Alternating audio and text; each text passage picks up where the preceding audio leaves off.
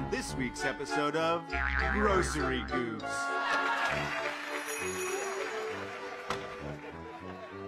Hmm.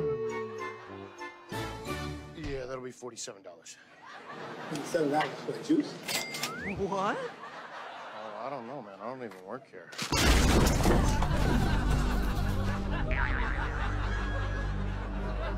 I wonder if he can still see me. No, I'll see.